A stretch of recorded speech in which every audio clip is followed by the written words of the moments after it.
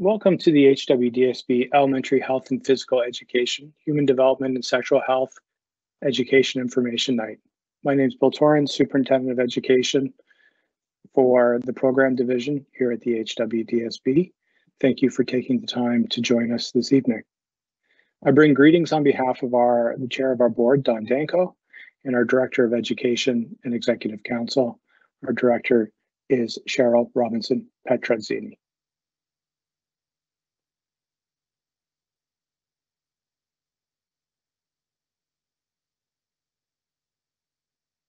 I also want to acknowledge the work of uh, System Principal for Learning Services, Jennifer Burley, and uh, Nick Benner of Corporate Communications for their support uh, with tonight's presentation. They're working behind the scenes uh, to support uh, questions and answer questions uh, provided through chat and have supported the overall development of tonight's session.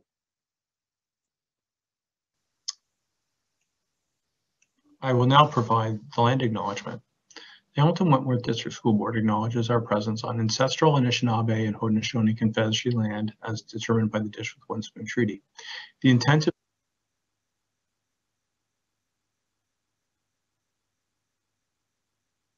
this agreement is for all nations sharing in this territory to do so responsibly, respectfully, and sustainably in perpetuity.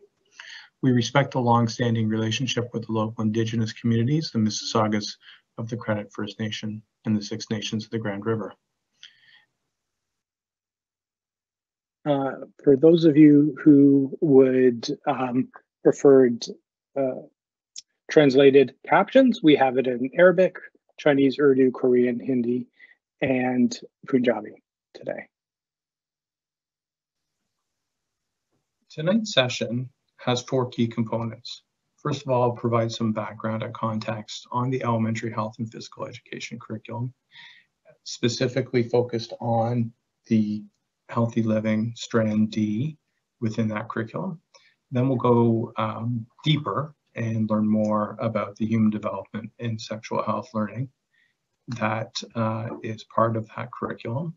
And we'll take a, a grade by grade uh, review of those key expectations that uh, teachers will instruct. We'll also review the exemption process and we'll finish with a question and answer session using our chat function.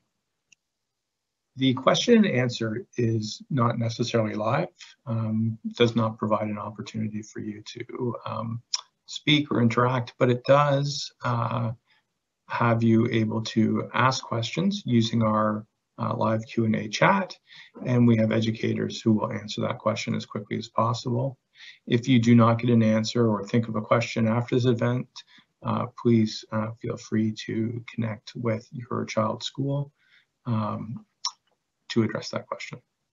We begin formally, I do want to uh, bring two key resources to your attention. One is we have a dedicated uh, human development webpage at um, hwdsb.on.ca uh, slash elementary slash program slash human, development. Uh, we do encourage you to um, uh, go to this site if you are looking for additional information. Uh, the site is also translatable in several languages using uh, a Google Translator function. We've also created a parent guide that's available to all of you. Uh, again, it's available at that website, um, but I've also uh, posted the link for those of you who are, are interested in opening it more immediately.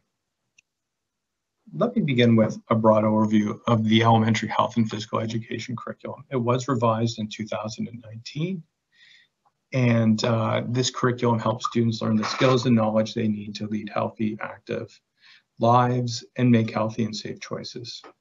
The learning the curriculum relates to everyday experiences of students at home, at school, and in the community, and helps students develop skills and habits that will enhance their physical, social, emotional, and mental well-being for the rest of their lives. The curriculum has several strands, social emotional learning in strand A, uh, active living in strand B, movement, competence, skills, concepts, and strategy uh, in strand C, and strand D is healthy living. And the human development and sexual health themes and learning is part of Strand D, Healthy Living. The HD, HWDSB approach really focuses on acknowledging that parents are the primary educators of their children with respect to the learning about values, appropriate behavior, and cultural, spiritual, and personal beliefs and traditions. And parents are, and families, are children's first role models. It's therefore important for schools and parents to work together to ensure that home and school provide a mutually supportive framework for young people's educations. HWDSB staff will teach the human development and sexual health component of this curriculum to elementary students uh, in May and June of 2023. By then, educators will have developed strong relationships with students and have a clear understanding of their maturity levels. Delivering the content in the spring helps ensure that we teach curriculum in a developmentally and age-appropriate manner.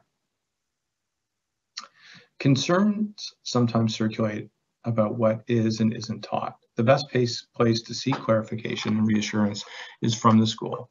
And to help families feel comfortable with what students will learn, we encourage parents, guardians, and caregivers to start with their child's teacher.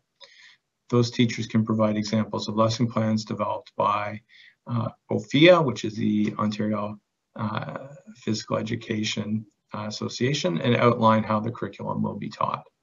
The HWDSB has also provided an overview document that I've just shared that provides a breakdown of what students will learn in each grade about human development and sexual health. Our approach is also rooted in uh, our strong commitment to human rights and equity. Human development and sexual health is more than simply teaching young students about the anatomy and physiology of reproduction. Sexual health is understood in the broadest sense within the curriculum and can include a range of topics and concepts from sexual development, reproductive health, choice and sexual readiness, consent, abstinence, and protection, to interpersonal relationships, sexual orientation, gender identity, and gender expression, affection, love, pleasure, body image, and uh, gender roles and expectations. Sexual development is one component of the overall human development, and learning about healthy human development begins at an early age. It's important for the learning to be appropriate to the student's age and stage in development. Younger children will learn the name of body parts and begin to understand how their bodies work and develop skills for healthy relationships, which includes understanding consent and demonstrating respect for others. As students grow and develop, they build an understanding of the physical, emotional, social, and cognitive changes that are happening to them and further uh, develop a sense of self and identity that will they'll begin to experience more so at puberty. Their learning about human development and their understanding of its many interrelated aspects deepens as students get older. And as the nature of their relationships change, they learn more about themselves, others, and identity, peers, family, and romantic relationships, personal safety, and decision making. Acquiring information and skills and developing attitudes, beliefs, and values related to identity and relationships are lifelong processes. The overall and specific expectations in this strand are developmentally appropriate and should be addressed with a sensitivity and respect to the uniqueness of each individual student. Students have the knowledge and skills needed to make sound decisions about matters affecting their physical and mental health and well-being before they experience real-life situations in which decisions have to be made. Depending on the particular group of students in the class or the school, it may be helpful to plan for instruction in groupings, or we might provide instruction in groupings or settings that are most conductive to this learning, including small groups or groups uh, separated by sex and co-educational groupings. It really depends on the classroom context and the school context. Principals and teachers must follow our board's policy that allows for students to be exempted at their family's request from instruction related to human development and sexual, uh, sexual health. I do note, though, that families requesting uh, an exemption um, are being exempted from the entire strand and not just the human development and sexual health. So um, your child will miss uh, other components of um, healthy living learning that occurs within that strand. I'll now begin to share with you the curriculum expectations by grade, starting with grade one. In grade one, the curriculum expectations include uh, identifying body parts, including genitalia, using the correct terminology and body positive language. Students will um, be expected to identify their five senses and describe how each functions. They'll also be demonstrating understanding of and apply proper hygiene procedures for protecting their own health and protecting transmission of disease to others. Uh, this will all be done, as I noted, uh, in an age and developmentally appropriate way. Uh, so while, yes, we are identifying uh, body parts as part of the learning, uh, using correct uh, terminology and body positive language, any, any images that are used, for instance, will be absolutely um, developmentally appropriate for grade one students. Grade two moves on to have our students uh, begin to understand the basic stages of human development and the related changes that will start to their bodies. Also to identify physical, mental, social, and environmental factors that are important for healthy growth and living throughout life. Students will begin to uh, be able to demonstrate the ability to identify and appreciate aspects of how their bodies work and describe what they can do to ensure they will continue to appreciate their bodies as they grow and change. Students will also demonstrate an understanding of and apply practices that continue to contribute to the maintenance of good oral health, such as brushing, flossing, going to the dentist. In grade four, the learning starts to include uh, identifying the characteristics of healthy relationships and describing ways uh, for of responding to bullying and other challenges in and of communicating consent with their uh, interactions with others.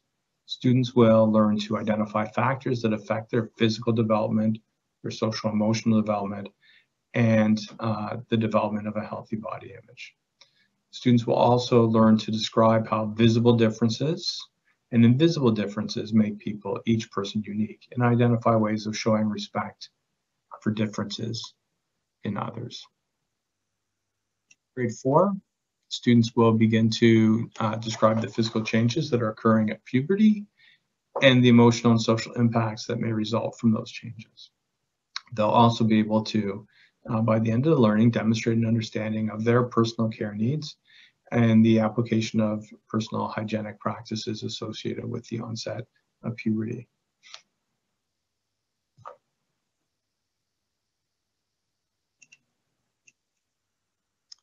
In grade five, students will learn to identify the parts of the reproductive system and describe how the body changes during puberty. Students will be able to describe the processes of, menstruation and spermatogenesis and explain how these processes relate to reproduction and overall development. They'll be able to identify intersecting factors that affect the development of a personal person's self-concept, including their sexual orientation and how these factors can support their personal health and well-being. Students will also begin to be able to describe emotional and interpersonal stresses related to puberty, recognize signs that could indicate mental health concerns, and identify strategies that they can apply to manage stress, build resilience, keep open communication with family members and caring adults, and to enhance their mental and emotional well-being. In grade six, students will begin to demonstrate an understanding of the impacts of viewing sexual explicit media, including pornography, describe how they can build confidence and lay a foundation for healthy relationships by acquiring a clear understanding of their physical, social, and emotional changes that occur during adolescence. They'll make begin to make informed decisions that demonstrate a respect for themselves and others and an understanding of the concept of consent to help build healthier relationships using a variety of social emotional learning skills. They'll also assess the effects of stereotypes and assumptions regarding gender roles and expectations, sexual orientation, race, ethnicity, culture, mental health, and the abilities on an individual self-concept, self-concept, social inclusion, and relationships with others, and propose appropriate ways to uh, of responding to and changing harmful assumptions and stereotypes that can lead to destructive social attitudes, including homophobia and racism. In grade seven, students will begin to learn how to explain the importance of having a shared understanding with a partner of the following delaying sexual activity until they're older, the reasons for not engaging in sexual activity, the concept of consent, the legal age of consent, and how consent is communicated. And in general, the need to communicate clearly with each other when making decisions about sexual activity in a healthy, loving relationship.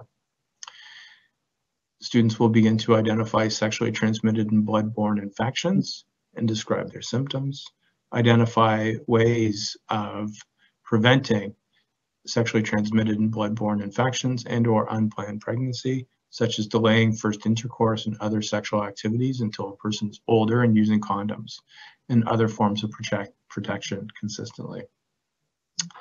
Demonstrate an understanding of the physical, emotional, social, and cognitive factors that need to be considered when making decisions related to sexual health. Explain how relationships with others and sexual health may be affected by the physical and emotional changes associated with puberty.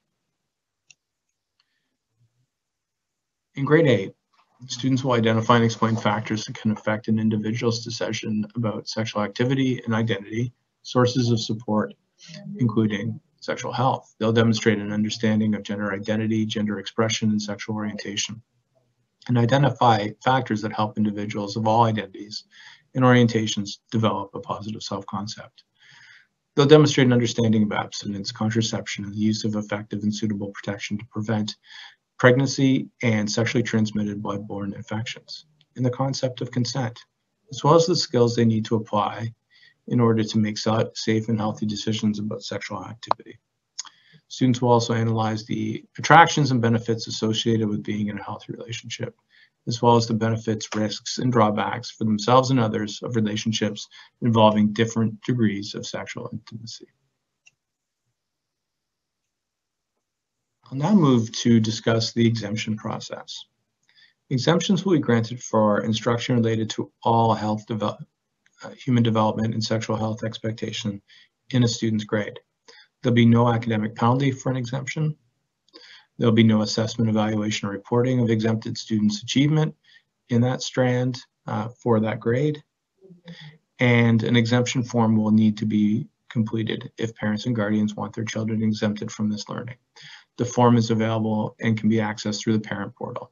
Paper copies and or phone calls to school will also be accepted if parent portal is not an option for a family. So uh, in um, listening to our presentation up to this point and um, having questions and concerns um, that you feel you need addressed, to feel comfortable with your your children uh, engaging in some of this learning. I do strongly encourage families to, of course, uh, start with the child's classroom teacher. A letter will come home regarding uh, the learning that will occur uh, over the course of the next two months and when that will happen as well. Uh, we, um, if you still have uh, continuing concerns, um, please feel free to uh, then move to a conversation with the principal or vice principal of the school. Um, but ultimately, uh, as families and parents, you have a choice to exempt your child from um, all uh, of the learning uh, within this um, within this strand that would occur during May and June. And uh, the school will, there's a variety of different ways that schools will organize that exemption in terms of uh, where your children um, will continue their learning on, on a different subject matter. We're now going to move into the uh, question and answer time. Uh, so again, a quick reminder that we do use our text box feature. Um, we have a team that will uh, answer questions um, if we can, or we'll ask you to, as I've mentioned, uh, connect with uh, the children's uh, teacher uh, or school uh, broadly if there are uh, questions that we can't provide an answer to. I'd just like to thank everyone for their time in listening to our presentation. We will take a few minutes to allow you to put questions uh, into our, our chat function. I, I'm sure there are some questions. And then we'll start to uh, both answer them live uh, with the chat function, but I'm also going to take some common questions and uh, return and then speak to them uh, uh, live. So we're going to continue until 7:30 is is our stopping time, or until the we've addressed all the questions of the individuals who are here. Thank you again for for coming out this evening and, and participating with us, and we look forward to to answering answering these questions. So I'm seeing a few questions. We're going to um, take a few minutes to uh, begin to answer a few. And I see one question we have is, are there discussions regarding gender in grade one? And, and um, again, I'll start by encouraging everyone to take the time to, um, of course, explore the curriculum document and, and the parent guide we've provided. Um, so learning about uh, um, gender uh, formally is not a curriculum expectation in grade one.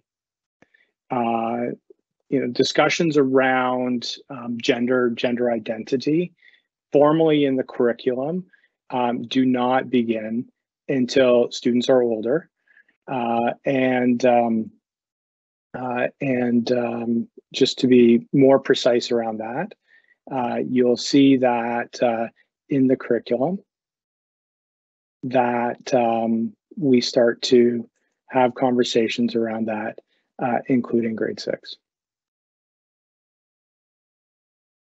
I'm seeing a question around if if um, a child's in a combined class. Um, really good question. Um, will they um, remain in that class during the educational uh, sessions?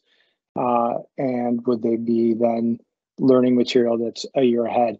This is an excellent question, the type of question uh, that is best asked of the classroom teacher. And I say that because uh, while we can present broadly what's in the curriculum, um, the the school level context uh, is not something where I can uh, guarantee my answer would necessarily uh, occur at the school level. So please um, uh, do speak to uh, your child's classroom teacher if you have a question about what what the learning specifically looks like in the uh, in their class, including what resources um, or, materials would be used to to do the teaching. We do provide access to materials uh, for all teachers from the Ontario uh, Physical Health uh, uh, Health and Physical Education Association (OPHEA) uh, for use by um, by educators. but as parents and families, please do ask those questions. And similarly, the question around uh, the teacher uh, for first grade students or grade one students. Again, um, this might be the homeroom teacher uh, of the class, or it might be uh, uh, a different teacher if perhaps the class has a different teacher for health and physical education. So that's another great question to ask um, about um, at the school level. The letter that comes home will probably indicate who is doing the teaching uh, of the specific material, be it in grade one, be it in grade eight.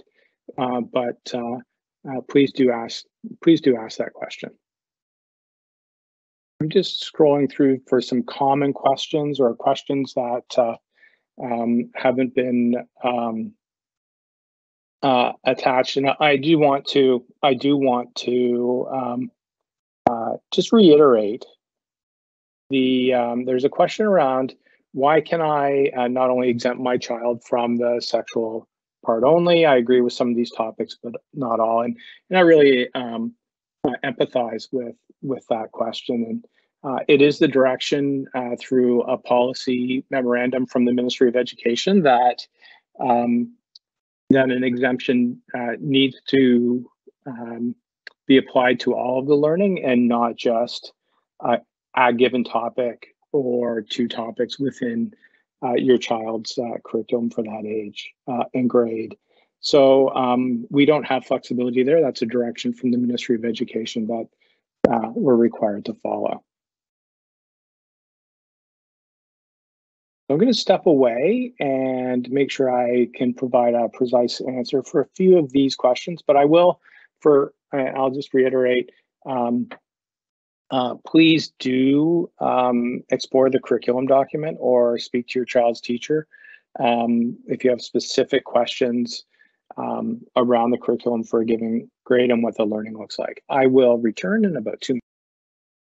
And thank you for the the ongoing questions. There's there are um, there are um, quite a few questions, and I, I did want to to um, start to talk about a little bit. Uh, there's a question that prompts kind of a wider discussion around sexual activity, and and that's where you know where first would sexual intercourse be, in what grade would that be discussed, and it it would arise first in grade in grade five in the context of um, that those curriculum expectations, which are really um, talking about the reproductive system, how the body starts to change uh, during puberty, processes of menstruation and uh, spermatogenesis, and how these relate to reproduction and overall uh, development. So uh, when we look at that learning, that's where within a context of a, a relationship, uh, we're always talking, uh, we start to really talk about um, that sexual intercourse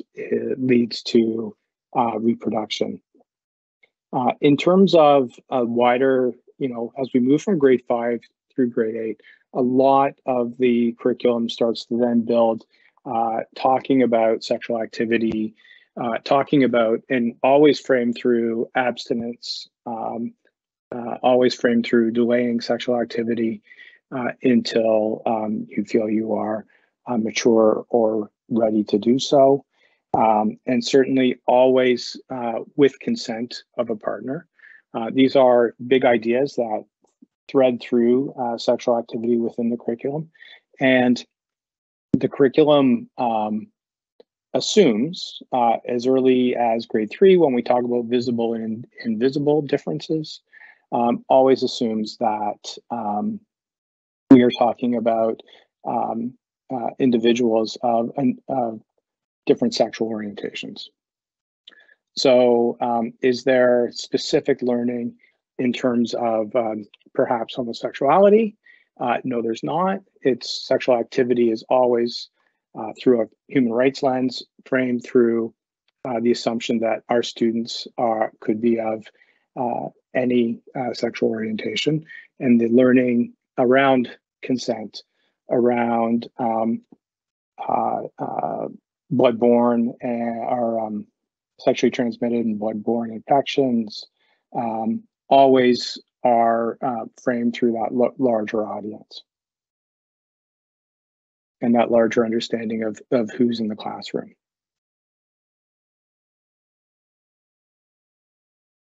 And uh, I, I see some great questions again about, um, you know, when will um, when will I know how it's being taught or how will I know it, how the material is being taught in the classroom? And again, um, connecting with the school is is vital here. Um, it's the classroom teacher who is is using this curriculum to provide the learning um, with access with from materials that we've provided uh, centrally. Uh, there is, um, if you have questions in terms of the lesson plan, or uh, the materials being used, again, the classroom teacher can uh, absolutely uh, uh, answer those questions and please feel free to um, have that conversation with them. So I'm going to step away and again take a look at the uh, chat area and prepare um, another response for some uh, general or comment. Hi, Thanks for your patience. I'm just back to take on two questions. One, there was a, a good question around who does the teaching and uh, what are their qualifications.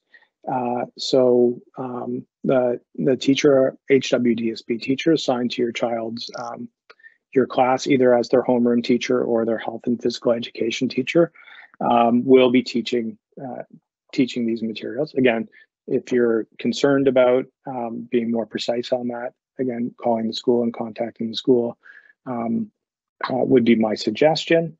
Um, they would be, uh, of course, qualified teachers. A health and physical education teacher uh, will have that as a qualification, and, and they've um, uh, obtained that and have a background in, in those materials. In the younger grades, you'll sometimes see that will have their uh, homeroom teacher uh, providing the learning, um, again, with possibly with the support of the health and physical education teacher.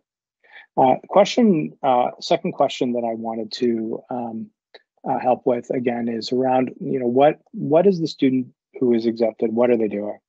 Um, and certainly we want to continue their learning. Um, it might be in a different subject area, so there might be um, uh, some assignments or some learning activities. They might join another class uh, for part of the learning. In some school communities where you'd have a large number of students, uh, perhaps exempted, um, that group of that group of students will continue uh, other learning, say math, uh, mathematics learning, for instance, um, or do more of the physical education side of health and physical education, do continue some learning there, uh, while uh, the rest of the students are uh, doing some of the human development and sexual health learning. Uh, again, this is often a class by class or uh, school by school uh, context for this, uh, for what happens within an exemption. So again, it's a good it's a good question as you make, and if you do make an exemption request, um, then you'll be made aware of um, how your children will continue learning. Of course, it's it's well within your purview also to um, perhaps if it's at the end of the day, um, a, a, parent and a family can always uh, dismiss their child early if that makes you the most comfortable. So I'm going to go back again to take a look at a few of the questions and return in just a few minutes.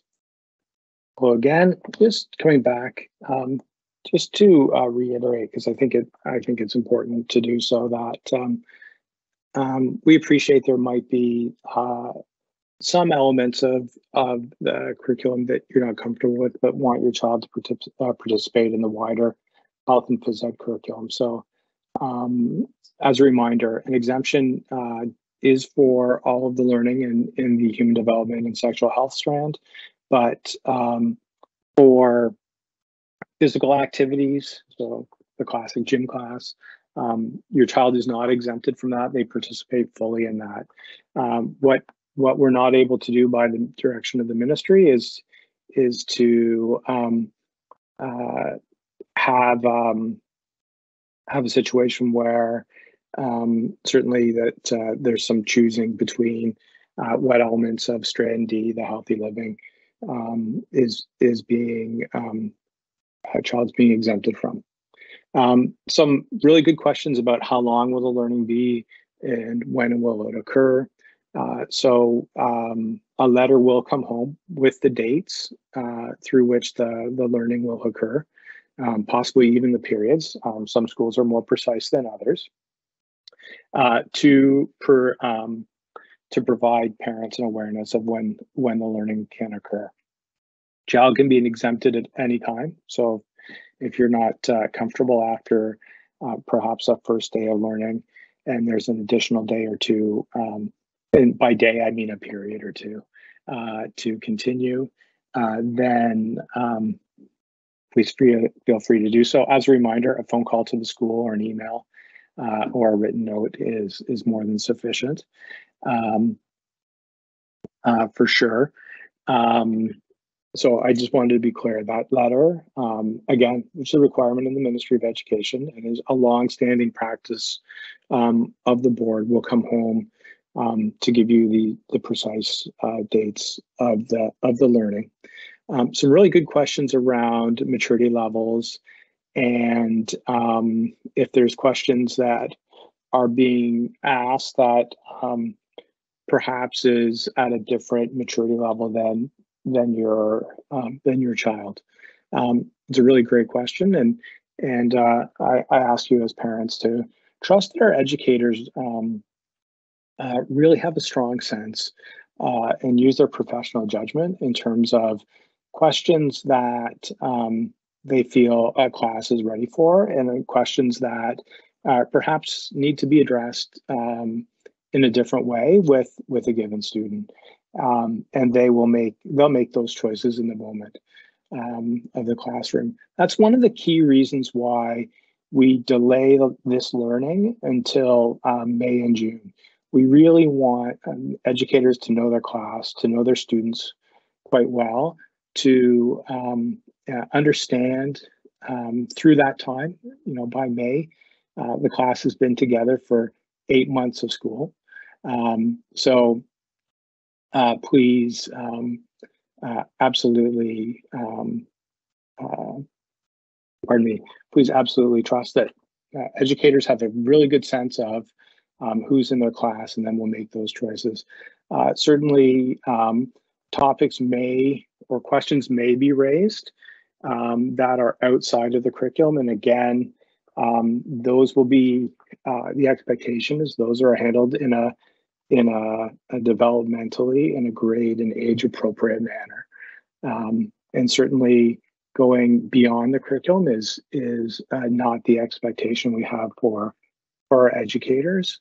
Um, but certainly sometimes questions are are in the classroom and and um, and will be answered in the best ways possible. Uh, typically, what we'll find in in some situations is families will be uh, perhaps involved in in um, having a conversation around a question or helping uh, to provide an answer um, to a question um, to make sure they're aware. It's really again on a case by case basis, but but generally uh, generally speaking, our educators know their classes. They know the maturity level of their students and and who their students are, and and we'll handle these um, will handle these uh, situations uh, with great sensitivity. And so we haven't received or very few new questions, but I do want to just take on a number of questions around um, gender identity, uh, gender ideology. So um, I just want to reaffirm the HWDSB's commitment to uh, human rights as enshrined in the Ontario Human Rights Code uh, and our our human rights policy, and and that um, both the Human Rights Code and our policy uh, very much uh, speaks to the equal treatment and the treatment without uh, discrimination of all individuals, uh, including students' right and families' right to gender um, to their gender expression. So, in terms of the, the context of the learning in the healthy living strand, what that means is all of our students uh, need to feel uh, safe, supported, and included in the learning. Uh, and the learning, the expectation of educators is for that learning to be delivered in such a way that uh, everyone can, uh, in a sense, see themselves in the learning, uh, feel safe and supported as part of the learning. Um, and again, the exemption process is designed for families who are um, concerned about, and we've spoken earlier about uh, our approach with families being, you know, the primary educators initially of their uh, of their of their children, obviously, um, uh, families to make decisions about if they're comfortable with the topics that are being taught, um, uh, or would they prefer to uh, lead some of that learning themselves at home. So um, that is a, a process that we've developed uh, through ministry direction to support to support all families and to make sure that everyone feels um, again safe, uh, included, and accepted. So with just a sorry, with just a few minutes left, uh, I do um, uh, really appreciate it, a your time tonight and coming out to to hear us. We we really appreciate it and uh, the excellent questions that were asked. Um, I'll just reiterate a few key uh, key points. One is we do have a dedicated website and a parent guide available on our main website, and uh, it's also been uh, placed in the in the chat. I do greatly encourage you if you do have questions uh, and want some more details around the curriculum uh, to uh, to please explore those um, explore those resources.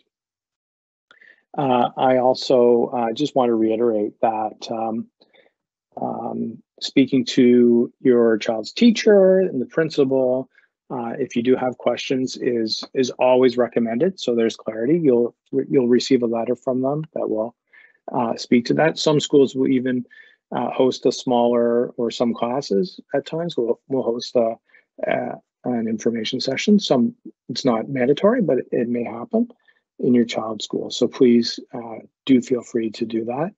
Um, um, we um, uh, the exemption process is um, without academic policy. There's uh, your child's mark will not be impacted in any way or uh, uh, if you do choose to um, make an exemption, but an exemption is for all of the learning uh, around human development and sexual health.